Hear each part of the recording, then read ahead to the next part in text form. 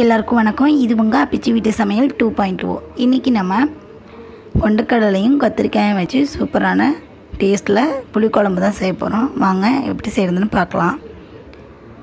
அடுப்பில் பாத்திரத்தை வச்சுட்டு அதில் தேவையான அளவு எண்ணெய் ஊற்றிக்கோங்க ஒரு அரை ஸ்பூன் அளவுக்கு வெந்தயம் கால் ஸ்பூன் கடுகு கால் ஸ்பூன் ஜீரகம். அது நல்லா பொரியட்டும். அது கூடவே பார்த்திங்கன்னா ரெண்டு காஞ்ச மிளகாய் சேர்த்துக்கலாம். ஒரு பத்துலேருந்து பதினஞ்சு சின்ன வெங்காயத்தை இது மாதிரி தட்டி வச்சுருக்கேன். இது மாதிரி தட்டிட்டு சேர்க்கும்போது டேஸ்ட் ரொம்ப சூப்பராக இருக்கும். ட்ரை பண்ணி பாருங்கள் நல்லா வதக்கி விட்டுக்கலாம் வெங்காயத்தை சேர்த்து. அது கூடவே நம்ம தட்டி வச்சுருக்க பூண்டையும் சேர்த்துக்கலாம். சேர்த்து நல்லா வதக்கிக்கலாம். அது கூட பார்த்திங்கன்னா தக்காளி ஒரே ஒரு பெரிய தக்காளியை கட் பண்ணி வச்சுருக்கேன். அதையும் சேர்த்து அது கூடவே கொஞ்சமாக குழம்புக்கு தேவையான அளவு உப்பையும் சேர்த்து நல்லா வதக்கிக்கலாம்.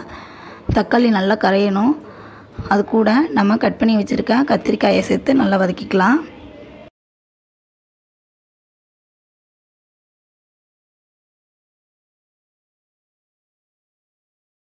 கத்திரிக்காய் கூடவே நான் ஊற வச்சுருக்க கொண்டக்கடலையை சேர்த்துக்கலாம். கொண்டக்கடலையை நைட்டே ஊற வைக்கணும். அப்படி ஊற வைக்க மறந்துட்டிங்கன்னா நீங்கள் நல்லா வெ வெறும் கடாயில் நல்லா கொண்டக்கடலையை நல்லா வறுத்துட்டு நம்ம குழம்புல சேர்த்துக்கலாம். அதுவும் ரொம்ப நல்லாயிருக்கும் நல்லா வெந்துடும் இப்போ நம்ம காயை நல்லா வதக்கி விட்டாச்சு. இப்போ நம்ம இதில் குழம்பு மசாலா சேர்த்துக்கலாம். ஒரு ரெண்டரை ஸ்பூன் அளவுக்கு குழம்பு மிளகாய்த்தூள் சேர்த்து நல்லா வதக்கிக்கலாம்.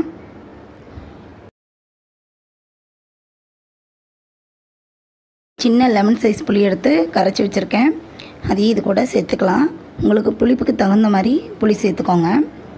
அது கூட நம்ம குழம்புக்கு தேவையான அளவு தண்ணியும் சேர்த்து கலந்து விட்டுறணும்.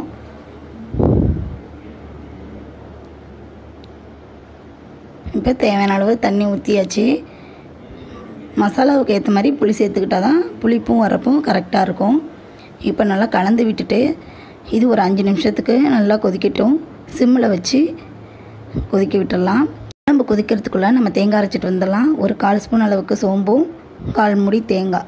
இது ஆப்ஷனல் தான். குழம்பு நல்லா கொதிச்சிருச்சு.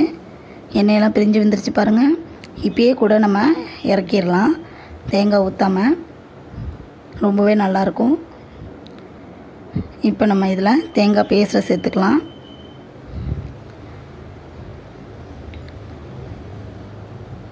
தேங்காய் பேஸ்ட்டை சேர்த்துட்டு தேவையான அளவு தண்ணி சேர்த்து கலந்து விட்டுக்கலாம்.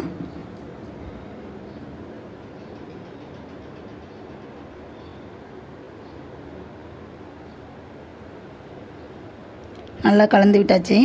இதில் நம்ம கருவேப்பிலை சேர்த்துக்கலாம். எப்போவுமே கடைசியாக கருவேப்பிலை சேர்க்கும்போது நல்ல வாசனையாக இருக்கும். கொஞ்சமாக பெருங்காயத்தூள் சேர்த்துக்கலாம். பெருங்காயத்தூள் சேர்க்கும்போது நல்ல வாசனையாக இருக்கும். செரிமானத்துக்கும் நல்லது. ஒரு ரெண்டு நிமிஷம் மூடி போட்டு கொதிக்க விட்டு இறக்கிடலாம். அவ்வளோதாங்க நம்மளோட புளிக்குழம்பு சூப்பராக ரெடி ஆயிடுச்சு. இந்த மாதிரி புளிக்குழம்பு ட்ரை பண்ணி பாருங்கள் ட்ரை பண்ணி பார்த்துட்டு எப்படி இருக்குன்னு கமெண்ட் பண்ணுங்கள் லைக் பண்ணுங்கள் ஷேர் பண்ணுங்கள் மறக்காமல் நம்ம சேனலை சப்ஸ்கிரைப் பண்ணுங்கள்